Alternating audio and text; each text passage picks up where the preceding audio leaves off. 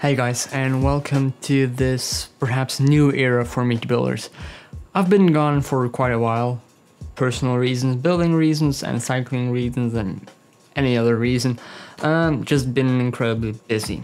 And I also really didn't feel like making videos for a while.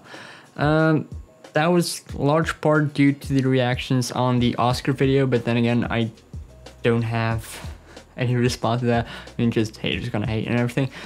But I wanted to make another video again, and maybe more useful videos like the ones I did before with the gradient brush or the Cinema 4D tutorials. Those are the videos that I get most views from and most rewards from. So I thought I'd make some more of those. And the one I was gonna do today is a pattern brush. You may already know the clipboard brush, but this is something else that I use especially for tile floorings. The build behind me uses it quite often and I thought you guys might want to learn how to do that. Anyway, let's do this.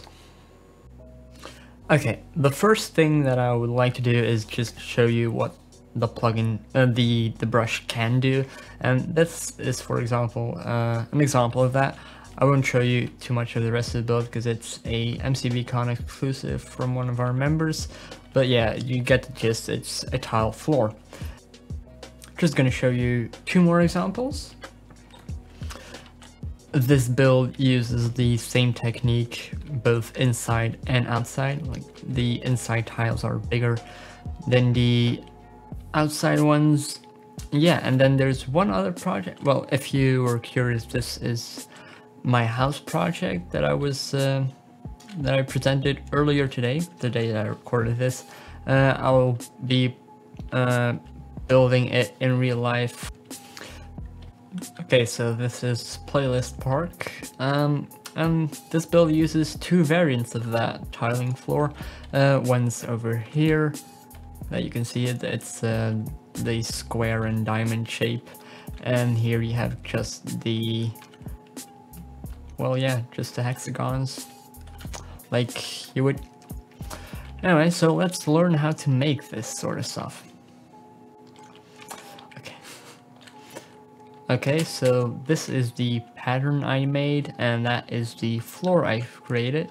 So let's see how this works. So you select the outer corners, then you do slash slash copy, and then you take a tool, any tool will do, you do brush sphere, hashtag copy, in your radius.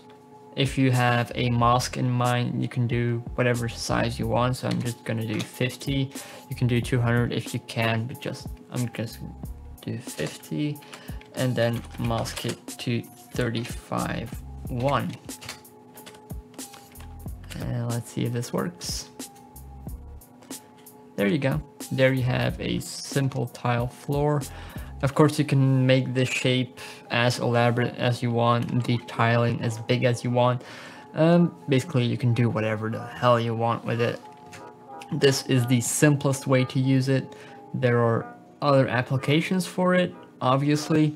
Um, for example, Lynn Blumen once used it very successfully for his Planet Minecraft uh, Barbarian contest entry.